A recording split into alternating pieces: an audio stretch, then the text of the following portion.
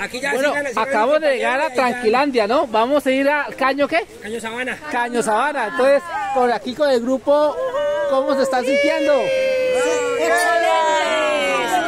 Súper chévere. A